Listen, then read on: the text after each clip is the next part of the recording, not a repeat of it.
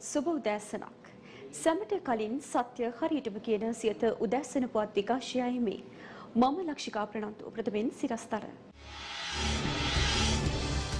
ඉදිරි අවදානම් හඳුනාගෙන පසු නොවැස වැඩ කරන්න ජනපති කියයි. විපක්ෂය යළි පාර්ලිමෙන්තුව කැඳවීමට ගන්නා උත්සාහය ව්‍යවස්ථානුකූල නොවන බව මහාචාර්ය ජේල් පීරිස් පවසයි. කොවිඩ් වෛරසය හමුවේ වත්මන් ආණ්ඩුව සිදු කරන ඇතැම් සංවර්ධන ක්‍රියා අනුමත කළ නොහැකි පාටලී කියයි.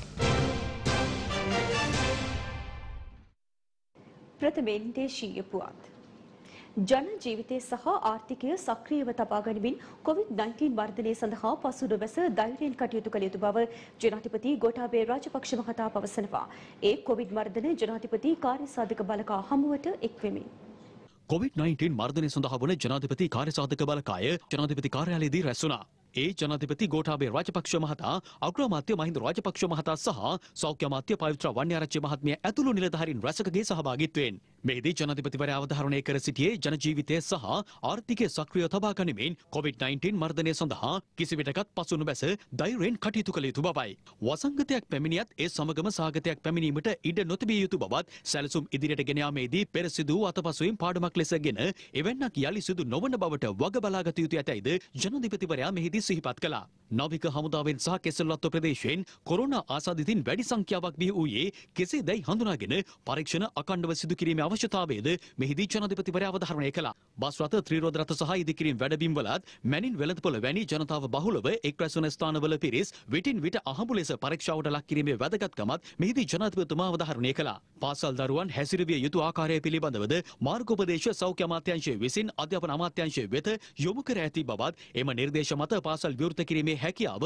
අවධානයට ලක් කර ඇති බවත් පාසල් ඇරවීමට පෙර මාධ්‍ය මගින් දරුවන් පුළුල්ව දැනුවත් කළ යුතු බවත් මෙහිදී ජනාධිපතිතුමා පෙන්වා දුන්නා. නිවාසවල රැඳී සිටීමට සිදුවීමෙන් නගරබද ජනතාවගේ ජන ජීවිතයට මහත් පීඩාවක් එල්ල වී ඇති බවත් එවැනි තත්ත්වයන් වළක්වා ගැනීමට සෞඛ්‍ය නිර්දේශ මත වැඩසටහන් ක්‍රියාත්මක කිරීමේ වැදගත්කමත් මෙහිදී සාකච්ඡාවට බඳුනුණා. විදේශයන්හි අධ්‍යාපනය ලද සිසුන් සහ තාවකාලික විසලාබීන් 3297 දෙනෙකු මේ වන විට රැගෙන වෙත් නිරෝධායනයට යොමු කර ඇති බවත් විදේශගත පිරිස් ගෙන්වා ගැනීම රටට අවධානමක් නොවන අයුරින් පාලනයක් සහිතව කළ යුතු බවත් මෙහිදී ජනාධිපතිතුමා අවධාරණය කළා.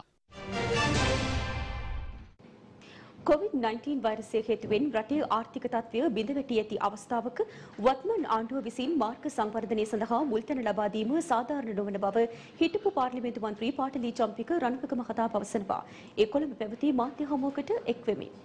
මෙච්චර අර්බුදයක් තියෙද්දි රටේ මේ පඩි ගෙවා ගන්න සල්ලි නැහැ කියලා ජනාධිපති ලේකම් කියද්දි රුපියල් මිලියන 31000 වියදම් කරන්න යනවා අධිවේගී මාර්ගයේ කොටසක් කරන්න. ඒ වගේම කිලෝමීටර් 105ක් හදන්න කියලා තවත් මිලියන 15000ක ණයක් ගන්න යනවා චීනෙ. මේ ජනතාවට කන්න නැතුව ජනතාවට පඩි ගෙවා ගන්න විදියක් නෑ. හැබැයි පාරවල් කෙරුවාව කරන්න යන. මේ පාරවල් කෙරුවාවෙන් තමයි ගජමිතුරු ධනපතියන්ගේ සෞභාග්‍යයේ මාවත තමයි මේ මාවත් සංවර්ධනයෙන් නම් ඇති වෙන්නේ. මෙවැනි දවන්ත ආර්ථික අර්බුදයකින් රට කොට නැගීමේ වගකීම ආර්ථික විශේෂඥයින්ට බාර නොදී පවුලේ හිතවතුන්ට හා සුදු කරපටි අපරාධකාරීන්ට පවරලා දෙනවා. ලෝකයේ එකම රට අපි මාස දෙකක් රට වැහුවට පස්සේ රටේ කෝවිඩ් ආසාදිතයන් ගාන 10 ගුණයටත් වඩා වැඩි ගානකින් වැඩි කරගත්ත එකම රට අපි. මේ ආර්ථික අර්බුදයක් ඔය ගෙවතු වගා සංදර්ශන වලින් ජය ගන්න බෑ. ඒකට ආර්ථික විද්වත් විශේෂඥයින් කැපවෙච්ච දේශමාමකින් අවශ්‍යයි. පිටරට දේපොළ තියාගෙන පිටරට පුරවැසිකම් දරන ගමන් මේ රටේ කටයුතු කරන බොරු දේශමාමකින්ට ඒක කරන්න බෑ. ඉදිරියේදී සියයට සියයක ප්‍රතිශතයකින් බස් රථ ධාවනය වැඩි කිරීමට බලාපොරොත්තු වන බව සමස්ත ලංකා පළාත් මාර්ගස්ථ මගී ප්‍රවාහන අධිකාරියේ සභාපතිවරුන්ගේ සංගමේ සභාපති බ්‍රහ්මකුමාර වීරසිංහ මහතා පවසනවා.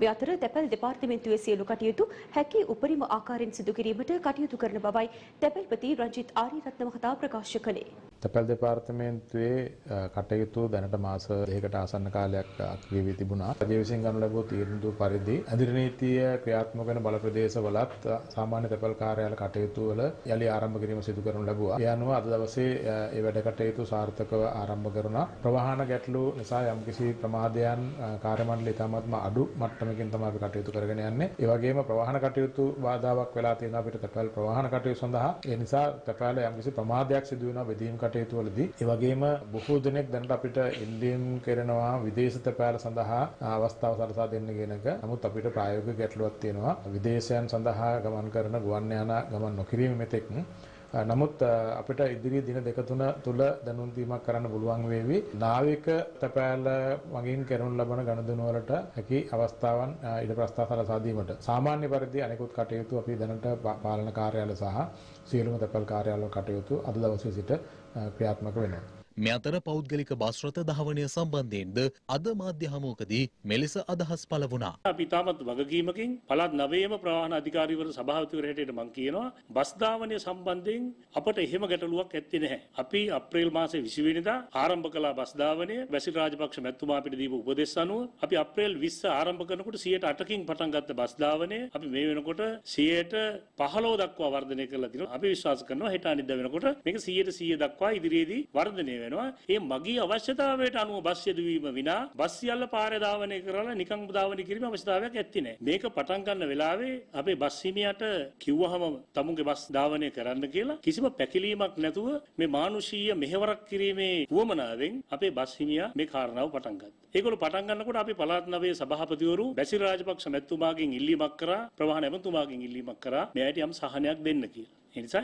අපි විශ්වාස කරන මම නිල වශයෙන් ඒක දෙනවමයි කියලා ප්‍රකාශ කිරීමේ අයිතියක් මට නැහැ. නමුත් අපි විශ්වාස කරනවා මේ කාර්යසාධක බලකාය ඒ වගේම අපි ඇමතිතුමා හරහා ඒ අවශ්‍ය සහනාධාරය ලැබෙයි කියලා. විපක්ෂය යළි පාර්ලිමේන්තුව කැඳවීමට ගන්නා උත්සාහය ව්‍යවස්ථානුකූල නොවන බවත් එය හුදෙක් පක්ෂ අර්බුදය විසඳා ගැනීමට සිදු කරන උපක්‍රමයක් බවත් ශ්‍රී ලංකා පොදුජන පෙරමුණේ සභාපති මහාචාර්ය ජී.එල්. පීරිස් මහතා පවසනවා. ඒ කොළඹ පැවති මාධ්‍ය හමුවකදී ආණ්ඩුවේ ඉතාමත් වැදගත් අංශයක් තමයි විවස්ථාදායකය. විවස්ථාදායකයට අපේ ආණ්ඩුක්‍ර ව්‍යවස්ථාව යටතේ භාර වෙනවා ඉතාමත් වැදගත් කාර්යයන් දෙකක්. එකක් නීති සම්පාදනය කිරීම අනෙක මුදල් පරිපාලනය. ඒ දෙකම තියෙන්නේ පාර්ලිමේන්තුව අතේ. ගෝඨාභය රාජපක්ෂ මැතිතුමා රටට ඉදිරිපත් කළේ සම්පූර්ණ අලුත් ප්‍රතිපත්තියක්. අලුත් දර්ශනයක්. එතුමාගේ න්‍යාය පත්‍රයට සම්පූර්ණයෙන් පටහැනි ප්‍රතිපත්ති තමයි නියෝජනය කරන්නේ ඉස්සෙල්ලා හිටපු පාර්ලිමේන්තුව. ඒතර ඒ පාර්ලිමේන්තුවට දැන් මොකද්ද කරන්නේ? මේ රටේ නීති සම්පාදනය කිරීමේ බලය දෙනවා. මුදල් පරිපාලනය පිළිබඳ සියලුම බලතල එයාගේ ඔඩොක්කුවට දානවා. ඒක කළ යුතු දෙයක්. ඒක ප්‍රජාතන්ත්‍රවාදයට අනුකූලද? සර්වජන ඡන්ද බලය සමග කිසිසේත් ගලපන්න පුළුවන් දෙයක්ද ඒක? ඒක අපි කරන්නේ නැහැ. මේ කරන්න හදන්නේ දැන් එක්සත් ජාතික පක්ෂයේ ලයිස්තු දෙකක් තියෙනවා. ඒතර මේ නාම යෝජනා නිෂ්ප්‍රභා කරලා පොදු ලයිස්තුවක් ඉදිරිපත් කරන්න තමයි වුවමනා වෙලා තියෙන්නේ. ඒක මොකද්ද හරස් වෙලා තියෙන්නේ? හරස් වෙලා තියෙන්නේ නාම යෝජනා දීලා ඉවරයි. ඒවා බලංගු නාම යෝජනා. ඒ පිළිබඳව මැතිවරණ කොමිෂන් සභාවට කරන්න පුළුවන් දෙයක් නැහැ. එතකොට ඒ නිසා තමයි මේ ක්‍රියාමාර්ගය ගැන විපක්ෂයේ උත්සර ලොකු උනන්දුවක් තියෙන්නේ. පාර්ලිමේන්තුව රැස් කළා පාර්ලිමේන්තුව හරහා දැනට පිළිඅරන් තියෙන නාම යෝජනා ප්‍රතික්ෂේප කිරීම තමයි විරුද්ධ පක්ෂයේ ප්‍රධාන අවශ්‍යතාවය වෙලා තියෙන්නේ.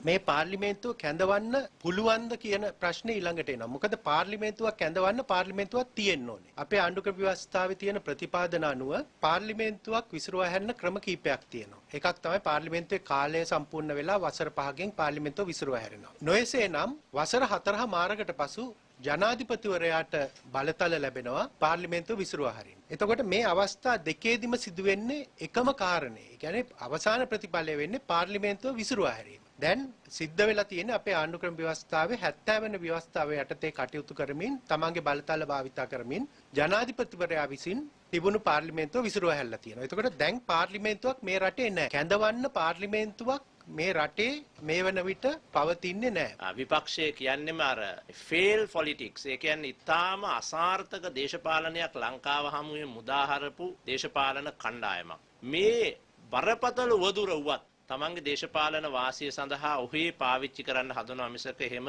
විධිමත් බුද්ධිමත් මැදිහත් වීමක් සිදු කරන බව පේන්නේ නැහැ. මට කියන්න අවශ්‍ය වෙන්නේ මේ උවදුර හමුවේ අපේ රටේ සෞඛ්‍ය ශේෂ්ත්‍රයත් ආරක්ෂක ශේෂ්ත්‍රයත් වැඩ කරනවා වගේම අපේ රටේ අර පවතින රාජ්‍ය යාන්ත්‍රණය ශක්තිමත්ව ගෙනියන්න මේ රජය විශාල වැඩ කටයුතු රාශියක් සිදු කෙරුවා. මේ දැඩි ව්‍යසනකාරී වාතාවරණය තුළ ආණ්ඩුවක් විදිහට අපි මුලින්ම මේ රටේ සමස්ත භූමි කලාප ඉතාම සාධාරණ ලෙස ආවරණය වන පරිදි මේ අත්‍යවශ්‍ය භාණ්ඩ හා සේවාවන් සියල්ල සම්පාදනය කළා. ඖෂධ සම්පාදන ඉතාම විධිමත්ව ක්‍රියාත්මක කළා. අපි මේ තත්ත්වයේ නිසි පරිදි කළමනාකරණය නොකළා නම් මේ NCDs නැතිනම් බෝනවන රෝග වලින් කොරෝනා නිසා ඇතිවන මරණ වලට වඩා වැඩි සංඛ්‍යාවක් මේ රටේ මිනිස්සු මැරෙන්න තිබ්බා. මේ සියල්ල අපි කළේ නිරෝධායන නීතියට යටත්ව රාජ්‍යයේ මැතිවරණ නීතියට යටත් වගේම මේ රටේ දූෂිත වැඩබැරි විපක්ෂයේ සියලු මඩ අවලාද මැද්දේ තමයි මේ හැමදේම කළේ අපිට එක වේදනාවයි පුංචි වේදනාවක් තියෙන්නේ නව දෙනෙක්ගේ ජීවිත බේරගන්න බැරි වුණා.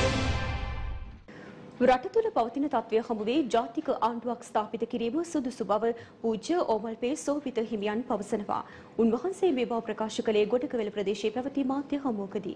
කොරෝනා වෛරසය හා සම්බන්ධ වර්තමානයේ පවතින මේ සුවිශේෂී වාතාවරණය යටතේ සලකා බලන විට පේන පැහැදිලි කාරණාව තමයි මැතිවරණයකට යාම අනතුරුදායකයි කියන බව.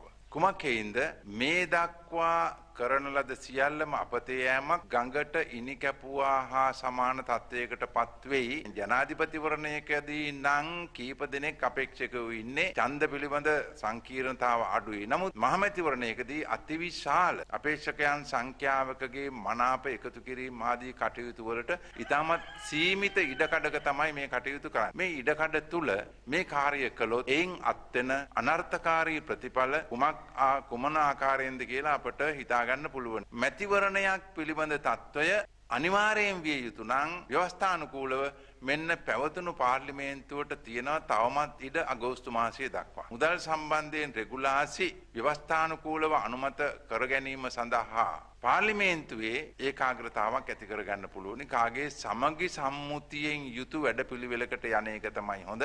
ජාතික ආණ්ඩුවක් වැනි ඒ කියන්නේ සියලුම දෙනා එක්ව සෑම පක්ෂයකම සහභාගීත්වයේ ඇතුව ඒ වගේ සමගි සන්ධානයකට එන්න හොඳ මූලික පියවරකුත් අපි දැක්කා. කුමක් හේඳ ජනාධිපතිවරණය අවසන් වෙච්ච ගමන්ම ඇත්ත වශයෙන්ම අගමැති තනතුර හිමිව තියෙද්දි විපක්ෂයට එය ආණ්ඩු පක්ෂයට බාර දීලා තියෙනවා. ඒක හොඳ ප්‍රවණතාවක්. ජාතික ප්‍රතිපත්තියකට යන එක තමයි හොඳ මැතිවරණයක් පැවැත්වීම නම් අනතුරුදායකයි. වර්තමාන තත්ත්වය අනුව මුදල් වෙන් කරවා ගැනීමට පාර්ලිමේන්තුව කැඳවීමේ අවශ්‍යතාවයක් නොමැති බව හිටපු පාර්ලිමේන්තු මන්ත්‍රී රංජිත් සියඹලා පිටිය මහතා පවසනවා. ඒකෑගල්ල ප්‍රදේශයේ පැවති මාධ්‍ය හමුවකට සහභාගී වෙමින්. ආචාර්ය පී.වී. ජයසුන්දර මැතිතුමා මේ රටේ රාජ්‍ය සේවකයින්ට බොහොම සහෝදරාත්මක කළ කාලෝචිත ආයාචනාවක්. මේ ලියුම ගැන මේ ලියුමේ පැති අල්ලගෙන විවිධ කෝණයෙන් බලලා කතා කරන්නේ මං හිතන්නේ මේ ලියුමේ තියෙන හරය ගැන කතා කරන්න අපේ රටේ සමහර ප්‍රධාන දේශපාලන පක්ෂවලට අයිතියක් නැහැ කියලා මම කල්පනා කරන්නේ. එතුමාට තියෙනවා රාජ්‍ය සේවකයන්ගේ සහෝදරාත්මක ඉල්ලීමක් කරන්නත් අයිතියක්. එතුමා සාද සහෝදරාත්මක ඉල්ලීම කරන්නේ ආයාචනයක් කරන්නේ මේ වෙලාවේ අපි මේ රටේ මේ වදුරුන් ගොඩ එන්න ආර්ථිකමය වශයෙන් අපි උදව් කරන්න යෝජනාවක් ආයාචනයක් මම දකින්නේ ඒකේ කිසිම වරදක් තියෙනවා කියලා. එතුමාට ඒ ආයාචනය කරන්න අනිත් අයට අයිතියක් නැති වුණාට ඔය චෝදනා කරන අයට අයිතියක් නැති වුණාට එතුමාට ඒ අයිතිවාසිකම් තියෙනවා. මේ රාජ්‍ය සේවය ආරක්ෂා කරගන්න, ඔවුන් ශක්තිමත් කරන්න, මේ දේශපාලන නායකත්වයට මඟ පෙන්නපු හයිය දීපු ප්‍රධානම නිලධාරියෙක් හැටියට එතුමාට ඒ අයිතිවාසිකම තියෙනවා. දැන් සමහරු මම දැක්කා කියන මේ COVID-19 වදුරෙන් මුණ දෙන්න ආණ්ඩුවට සල්ලි නැත්නම් පාර්ලිමේන්තුව කැඳවලා අපි සල්ලි දෙන්නලු. පාර්ලිමේන්තුව අවශ්‍ය නැහැ මේ රජයට මේ මේ මුදල් වෙන් කරගන්න. උදැසන පුවත් විකාශය අවසන්. තවත් උණුසුම් පුවත් දැනගැනීමට පිවිසෙන්න ලංකාවේ අංක එකේ සිංහල වෙබ් අඩවිය www.sietanews.lk අපගේ වෙබ් අඩවියට. යළිත් හමුවෙමු මධ්‍යහන පුවත් විකාශයත් සමගින්. ඔබට සුබ දවසක්.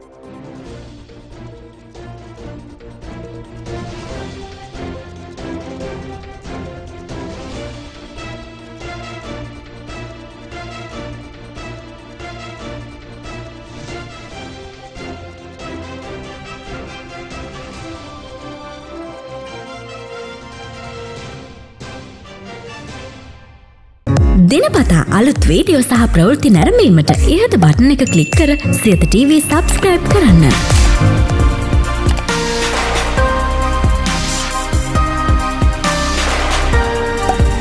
අලුත් වීඩියෝ ගැන මුලින්ම දැනගන්න මෙම සීනුව ක්ලික් කරන්න.